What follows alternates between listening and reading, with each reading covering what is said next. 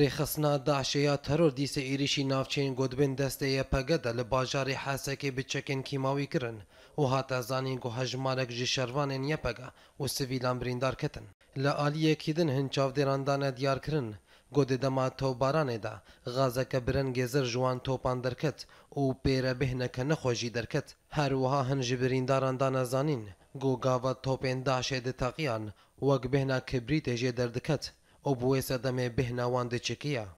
ما نحس الا هروق على بطن حاليا وتطلع ريحه جيفه الحين مثل ريحه الكبريت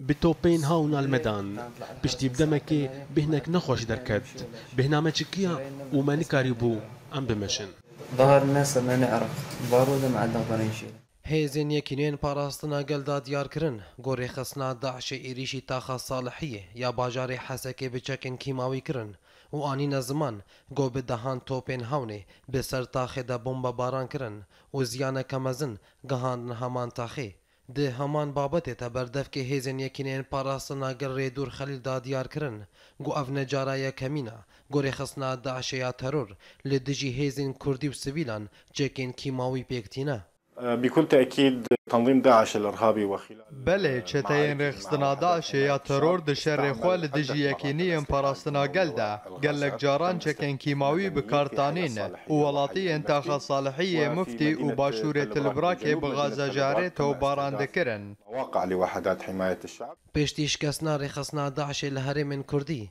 تتشت د دستوان د نمایا او دخوازن دریا چکن کیماوی ده زراری بگهینن هرم کردی و ده هەر دەمەکێدا ڕێخستنا داعشی ئێریشی هێزن کوردی بچەکن کی ماوی دکا بێگوتت دنگ ژوەڵاتێن ناودەوڵەتی وەرە